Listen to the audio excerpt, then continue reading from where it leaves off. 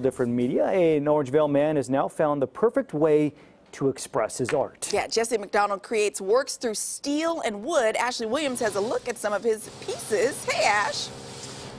Hi guys, good morning. This is really truly an incredible story coming out of Orangevale. You just mentioned it, Jesse MacDonald. He's a contemporary artist. He's been doing this for years, but he tried his hand at high school teaching and after a while he decided, I'm going to quit doing that to do what I love full time. But let's go ahead and interrupt what he's doing now and actually get a chance to meet him and learn a little bit more about what it is that he does. Jesse, thank you so much for joining us this morning.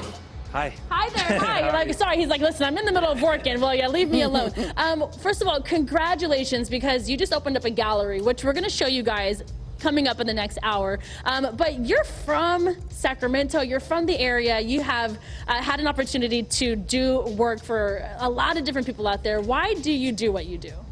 Uh, I think I was made to be an artist. I tried a lot of other things, and I've always gravitated to the arts. Yeah. So I just am trying to like be who I am. Yeah, I like that. Hence the word Jesse MacDonald made. Let's go and show some video of you hard at work. And we got this off of your YouTube channel and your website. Uh, tell us a little bit about your medium. Is that an appropriate Yes, word? medium's Okay, great medium word. Yeah, perfect. medium- Okay. Medium's a great word. I, I think looking back through my life, I was I was searching for a medium. I was I did tattoos and music and painting and drawing and, and the medium I I finally found and realized works for me is metal and woodwork, Yeah. sculpting, uh, painting with metal, um, and painting on metal. So I, I I think artist is the best word for me because I, I like a lot of mediums, but this medium in particular like speaks to me. Yeah, I mean, this is great. Obviously, creating stuff, like you said, for businesses, and of course, you've been, uh, people seek you to commission some work out. Actually, standing in front of us, you might notice it's an ox. It is an ox for a reason.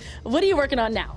Yeah, this is a, a big bull. It's a it's a blue ox um, for the for the blue ox on K Street. It's going to go out on K Street. Oh, cool. Um, Abraham's the owner. He Yeah, reached out, and I'm super happy about this piece because it's like the first big sculpture that's um, that I'm going to do, and it's going to be in front of his store. And another artist friend of mine did a big mural. His name's John Horton. Yeah. Um, so yeah. And I- I'm, I'm excited for you. I didn't mean to cut you off. Oh, yeah, yeah. How long does it take for you to finish a piece um, on this level, of this level, I should say? Uh, this one's gonna be about a week or two. Uh, right now I'm on day like five, I think. Yeah. And so Wow. I'm like halfway. Yeah, you know, you're you're so, you're really truly an inspiration because you told me earlier this was a leap of faith for you because you quit your job as a high school teacher. You did that for years. Mm-hmm. You wanted to do what you love most, and that is artwork. Right. Yeah. I, I, I, I was a teacher for 15 years Yeah. in San Juan Unified, and